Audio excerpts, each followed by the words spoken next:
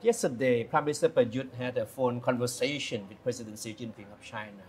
Of course, officially it was to mark the 45th anniversary of Thai-Chinese diplomatic relations, right?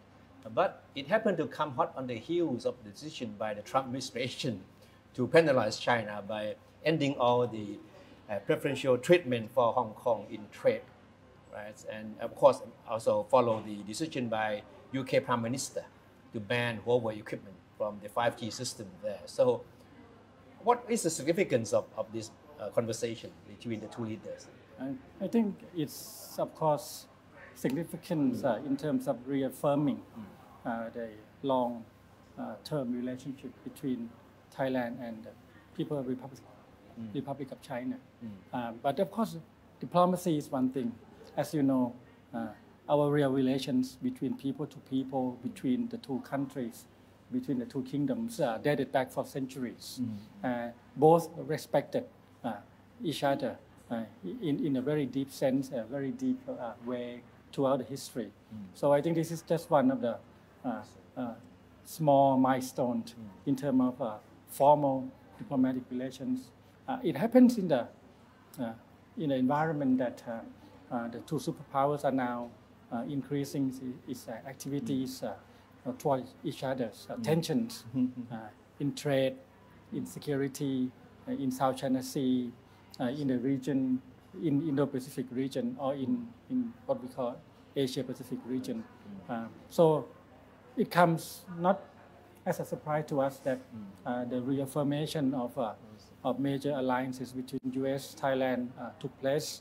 Uh, the connectivity between Thailand uh, and China will increase, will step up. Uh, by the way, China is our number number one trading partner uh, this year, and the relationship is now yeah, much more complex uh, than in the past. And what do you think was the most important message that came out of the conversation for Thailand? Well, I think uh, the, the message is that uh, we are very happy to engage, uh, and we look forward to strengthening, strengthening up our relations in different uh, areas, uh, in trade in particular, uh, in uh, cultural uh, areas. Uh, uh, Chi- China invested a lot in terms of building up uh, cultural activities. Uh, Thailand uh, is, I think, the, the, the country that China invested more in terms of uh, putting institutions, education, uh, uh, uh, money, students. So I think uh, it reaffirms that uh, uh, the road ahead will be even more closer That's right. between the two countries. And Prime but you said we need more Chinese investment. Yes, of course, of course. Uh, well, we need more Japanese investment, we need more US investment, we need more Korean investment. Uh, I think we need more investment in Europe from Europe too. Yeah, Uh, so I think this is a recovery process that Thailand is looking forward to. Uh, it's, it's now, but it's now it's much more complicated as we are now resuming military activities with the U.S. Uh, military exercises uh, should resume. We have a small con- contingencies uh, exercising in Hawaii uh, uh, this week with the U.S. Uh, about 150, 170 uh, soldiers will be returning to Thailand, and toward the end of the year, we may resume more exercises uh, with the U.S. Uh, on one hand, but on the other hand, we are now opening up for for, for the Chinese uh, uh, people to come back to Thailand, and of course, the investments uh, in the Eastern Economic Corridor uh, submarine project is now um, uh, moving forward, and, and many more technology exchanges. Uh, But, but how do you think this will be seen from the Western point of view? Would it be seen as, uh, as Thailand leaning more toward China, or would it be seen as part of the balancing act by Thailand between China and Western countries? Well, it's well known for Thailand to do a balancing act in a more complicated, and complex way. But of course, uh, European nations may increasingly worry about that uh, act. Uh, uh, I think some may favor. Well, all will trade with China uh, for sure. Yeah. Uh, but in terms of politics, in, in, in terms of security, may, they may be more worried about engagement between China and different countries. Uh, it happens that Thailand engages more with the U.S. in terms of security and military. So that will be uh, quite comfortable for Thailand to explain uh, to these countries that we are not moving away from the U.S. engagement. But, Thai, but the US is moving toward the election in November. But probably the US is going to step up their game in Indo-Pacific region. What's your take during this complicated juncture? Yes, I think uh, I think that ref- that reflects. Uh, I think the American voters are concerned also about the role of the Chinese in the world. I think no matter who wins the November election, I think this trend may not change in terms of American thinking about rise of China.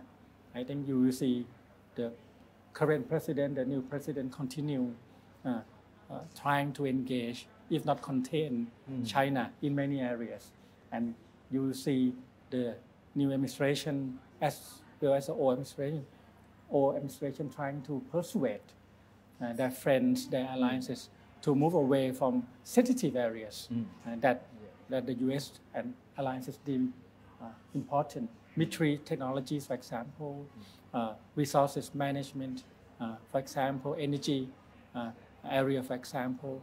Uh, these are the areas that are sensitive to the U.S. uh, to the uh, U.S. public. Uh, so you will, you will see this trend continue upward, uh, even maybe more intense after the new administration in the U.S. Uh, move into office. You have a new mandate and uh, both parties are now running a campaign against China in many areas. That's right. Uh, not all areas, uh, but so you, you will see a new upward trend uh, going against China uh, in different ways. So it's important for ASEAN to to stay together, to have our own roadmap on how to engage with China and with the U.S. The uh, Asia, uh, uh, Indo-Pacific, uh, ASEAN Indo-Pacific outlook. Uh, that piece of uh, document is very important. That's a blueprint for ASEAN countries to engage with the two countries uh, without having these two giant, two superpower pulling uh, small ASEAN country away, you know, from from from the centrality that AS- AS- ASEAN is trying to nurture. Yeah. In principle, it seems beautiful to have ASEAN as a unit. But in reality, especially with the issue of South China Sea, we can see how yesterday, when Mike Pompeo came out to blame China that they act illegally and that involved with at least four countries of ASEAN who try to claim the South China Sea as well. Yes. So how would Thailand should should remain, or what, what should be the take of Thailand on this case? Well, I think Thailand uh, may have to work harder trying to uh, go between uh, different countries uh, on this issue. Uh, on one hand, uh, the Chinese uh, build up in this area is ongoing and will continue to uh, uh, to grow in the future, uh, reflecting the uh, military economic uh, uh, power of, uh, of China. Uh, China may move in more into these areas. But on the other hand, you will see the US and alliances may raise more concern, may try to support smaller ASEAN nations uh, which are increasingly concerned about the role of the Chinese. So Thailand is in the middle. Uh, uh, some countries like Malaysia may be very concerned because the claim of the Chinese is about 50 miles away from Malaysian shores, uh, uh, thousand miles away from uh, from China. So smaller countries like this may tend to uh, may tend to be even more uh, uh, persuaded uh, to go uh, uh, and confront China. So Thailand has to be in the middle. Vietnam uh, did confront China already, you know, in the past. So we are in the middle trying to make sure that peace, stability, prosperity, the three important uh, areas that we sign the agreement with the U.S. will be maintained for ASEAN. So it's quite a challenge then for ASEAN to make sure that it doesn't get divided by this increasing geopolitical ri- rivalries between two superpowers, right? Exactly, especially uh, in the environment that both superpowers are now stepping up uh, their temptation, their their offers, uh, their support for these different uh, smaller uh, countries. We are not affected, so we are not really persuaded uh, by both agreements uh, uh, uh, because we are not a stakeholder. So we are in the middle. Uh, in this sense, uh, it should give the Thailand a very unique position uh, uh, to be able to uh, be a bridge Yes, uh, to go in between. So can you give some concrete example as to what Thailand can do in serving as a bridge between those uh, conflicting uh, countries which are claimants to the Yeah. to the uh, islands? You need to ask the new foreign minister uh, as he uh, uh, will come to office and maybe push for this policy. Uh, but yes, this is a critical uh, question indeed that we need a concrete example or concrete programs uh, to uh, to offer uh, in the region. Prime Minister Prayut already said, can we start with, for example, environmental issues that all countries are concerned, Yeah. energy issues that can be shared uh, uh, in certain areas. Uh, uh, so uh, these are the issues that uh, Prime Minister has already in mind, already talked about it in ASEAN meetings, especially when Thailand was a chair of ASEAN uh, last year. So these are the issues that are now uh, standing to be to be pushed forward. Since you mentioned Prime Minister Prayut, is he keen on foreign policies? Of course, uh, prime ministers, uh, presidents, uh, leaders. Because we haven't heard him talk much about foreign policies. Well, the Thai people should like it. Uh, that he talk more about economy. He talk But, you, more but- about. but you, you're confident he is very interested and Yeah. serious about foreign policy. Yes, he's just on the phone with uh, foreign leaders, including uh, China. So that, that uh, uh, including uh, ASEAN uh, meetings, and he did well uh, in many occasions. Uh, uh, if you notice some of his uh, suggestions about mutual trust, mutual benefit, and, and mutual respect are now adopted by ASEAN. Uh, no matter what you do in ASEAN, you need more trust, you need more respect, and in, in the end, you, you need more benefits coming from those uh, relationships. So that is uh, his leadership you know, in ASEAN. So that means that he would not hesitate to see Thailand play a more active role in uh, differences be- among the ASEAN countries over the issue of South China Sea. Well, of course, but in a Thai way. Uh, in a Thai way, meaning that uh, we are not going to get involved directly uh, in, in a conflict, uh, that we are not a claimant. Uh, we are not going to get involved in a conflict in the issues that uh, we are not against or for. So I think uh, the Thai approach uh, will, will be bringing people countries together to work, for example, in the Mekong sub-region, uh, to make sure that the Japanese, uh, uh, the U.S., uh, the Chinese are working you know, in different uh, projects together with the Thai, uh, uh, uh, with Thailand as a bridge, um, creating a master plan, for example, in ACMECS, and, and trying to use money from these three uh, uh, countries to benefit uh, uh, Laos, Cambodia, Vietnam, and Myanmar. And that's our goal. I think we also donated our money into the ACMECS uh, to make sure that these three or four countries who are now moving ahead in terms of development can cash on uh, with the rest of ASEAN. And for the case of telecom like Huawei, which is the UK is very much under pressure until they have to announce the ban of using Huawei equipment.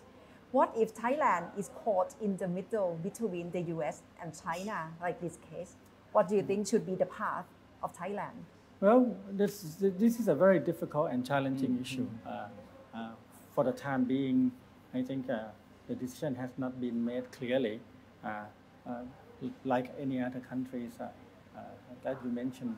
Uh, but it could be done that uh, in certain areas that are sensitive to the uh, security and military operations can be re-examined. Uh, but it's not easy. It's not easy. You, need cooperation from China. You need cooperation. You need understanding from the U.S. Uh, and you need to be very careful in selecting. And in the end, it's also about cost effectiveness. Uh, so these have to be worked out in the future. Uh, surprisingly, some of the countries changed their mind uh, in, in the last uh, few months right. and switched, you know, Yeah, switched side. Uh, um, Thailand has not done yet, uh, but we are now eval- evaluating that. Then uh, the National Security Council has a special group uh, working on this issue. So I'm, I'm, I'm very confident that they will make a right decision. Because a few weeks ago, I'm sure you remember that a group of executives of Huawei to met the Prime Minister at the government house, right? And in the conversation with them, the Prime Minister said uh, Thailand welcome Huawei to help Thailand develop the 5G network. So that could that be seen as a signal that Thailand uh, is sort of more ready than many other countries in joining hands with Huawei in developing the next phase of uh, telecommunication network? Uh, well, I Without think being worried too much about the security threat as some other Western countries. it's a very unique and complicated situation uh, for Thailand. On one hand, you have China as a number one Yeah, yeah. trading partner. It would be very odd not to engage in certain critical areas with your number one trading partner. But then again, you have you also have a number one security uh, uh, ally that is the U.S. Uh, and that will be very odd not to listen to them about the concerns on security. So it's a challenge for us to meet halfway right. to make sure that we, we can isolate uh, some of the concerns and make sure that the commercial and the uh, military applications will not be in conflicting with each other. The, the challenge is how to be good friend with one and not antagonizing the other, right? Yeah. and the challenge is can you manage that technology? Yeah. But on these questions, we know that uh, Thailand has been conducting an independent foreign policy, right, based on national interest. But would there be any pressure from countries like the U.S. in coming, I mean, in the near future, for Thailand to keep a distance from China because of the increasing geopolitical rivalry between them? Would, would that can you do you anticipate that kind of pressure from the U.S.? Well, I think the distance, uh, uh, comfortable distance has to be kept between Thailand and partners uh, in general. Uh, and that's a classic, typical Thai diplomacy. As you notice, uh, we've never been close or too close uh, uh, for comfort for anyone. Uh, so I think that's a typical uh, uh, position. Uh, the, the, the real challenge is how to explain that uh, comfort zone uh, to your different partners or how to compensate you know, uh, the concern on one to the other. Uh, I think uh, that's a challenge. But this position is well known, this Thai position. Yeah, not, not middle 50, 50%. It's a very complex engagement position, uh, uh, trying to accommodate uh, your friends and trying to isolate their concerns and work with their concerns uh, successfully in the past, and we hope to do so in the future. Uh, I'm sure we have answers uh, for the two giants, uh, and they, they may not like it 100%, but in the past they, they accept uh, that this is the Thai way. Yeah. So is, it- is it like we are walking on tightrope between two superpowers? And should we try to find other balance like Russia or India? Well, I prefer to think that we are walking in a rose garden. But you have to beware of the thorns. Uh, you might get Yeah. hurt, you know, but along the way you smell the flowers and you enjoy the benefits. Okay. You know, you're talking about we were talking about the Thai balancing act between two superpowers, right? I think the but the it has been obvious that we have been doing that because just a week earlier you had the U.S. Chief of Staff, General James McConville, Yes. visiting Thailand, and, and yesterday you had Xi Jinping speaking to our Prime Minister, right? Yes, yes, yes. And uh, this is a very classic, Uh-huh. typical Thai diplomacy. And then you have uh, you have a different engagement Mhm. uh, at the same time or almost at the same time uh, to reflect our deep commitment with both countries in different ways, Uh-huh. in different ways and in, in different areas. But it adds up to a very uh, stable and balanced uh, relation in the end. But did, did they happen by design or I mean partly by circumstances? That the two I mean events I mean being so close to each other. Well, you know, we would like to control all events if it's possible, but in reality, you know, Alright. that's up to uh, the circumstances. But I think they try uh, to control these events. Are we in the middle of Cold War ideology right now? Well, sort of, sort of. I think uh, the model that the Chinese is developing is very interesting. You know, uh, centralized, uh, put the uh, poverty at the front of the issue, mm. stability and growth successfully. It's mm. so amazing that they have done that in the past few decades. But then again, you have democracy, you have human rights, freedom, liberty. Mm. This is so attractive, attractive to the Thais, Yeah. especially the young generation. They, they're very fond of that uh, space. So you need to marry the two, which is very difficult.